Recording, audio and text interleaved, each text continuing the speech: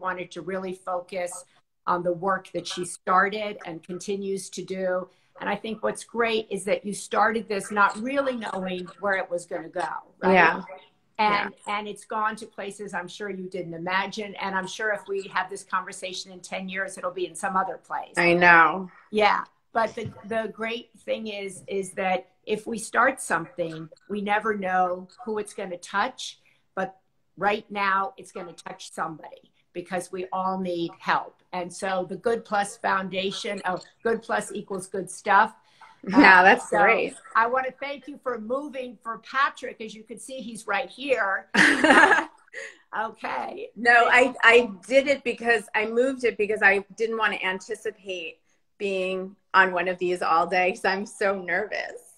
Oh, well, don't be nervous. You did great. You can't believe how many uh, people who have big companies can't organize the Instagram live. They have bad connections. So you did great. Thank you.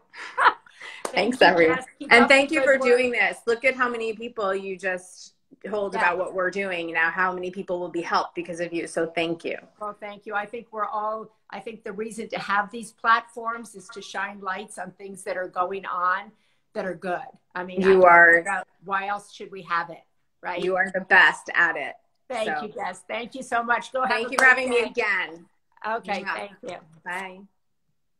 So, the Good Plus Foundation, um, the extraordinary work that they are doing on the front lines of humanity. I talk a lot about the front lines of humanity. That's home health care workers, people like the Good Plus Foundation, uh, our doctors, our nurses, our caregivers, really so many of us are working on the front lines. And that's why I like to try to use this platform to shine a light on the work that so many people are doing.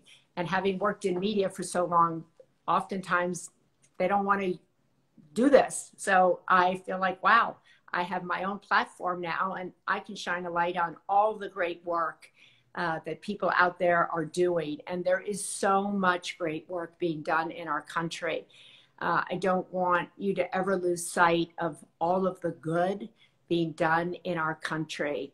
Uh, it's incredible. People starting diaper drives, um, food drives, medical supply drives, helping fathers, helping mothers, helping kids, helping seniors. Uh, the list goes on. So I don't want, you know, we hear all the time about what's wrong in our country. And there is, as she said, a lot that's wrong.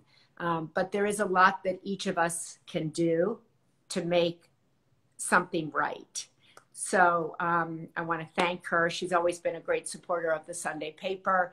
And um, I think, you know, it's really great the work she and everybody at the Good Plus Foundation is doing. And if you know some great organizations that um, we should be shining a light on, either here or in the Sunday paper. The Sunday paper um, really started as a way of shining a light on architects of change doing great stuff every day. So send me ideas. Uh, send me organizations that are doing great work that I can recommend to others that I can shine. Lotus House Miami.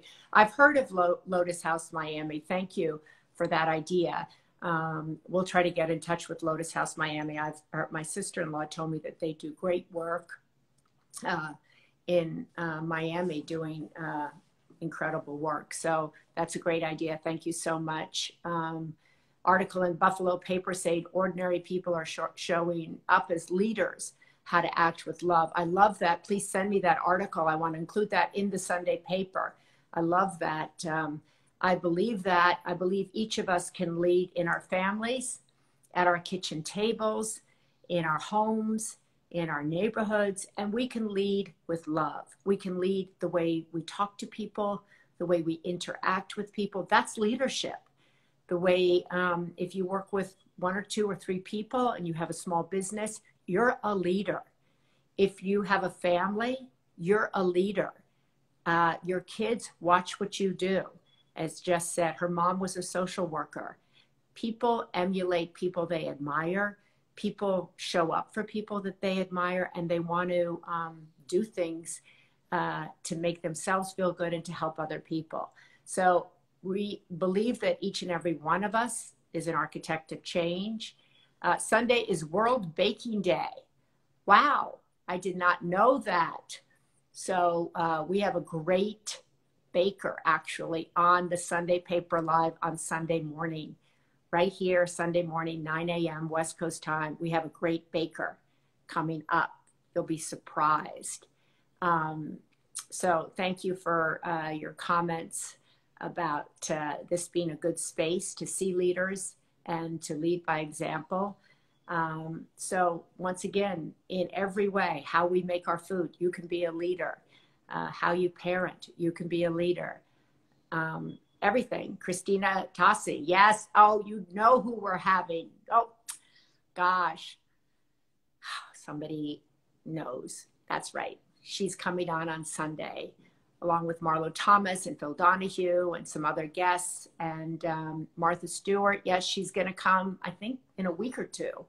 Um, and so uh, show us uh, good ideas, give us good ideas. Make sure you subscribe to the Sunday paper. If you like these conversations, please subscribe to my YouTube channel where you can watch them. It's all free. Um, Papa's Pantry. Um, I don't know that, so we'll have to look into that. And I don't know where Patrick is, but wherever he is, I hope he's having a great time.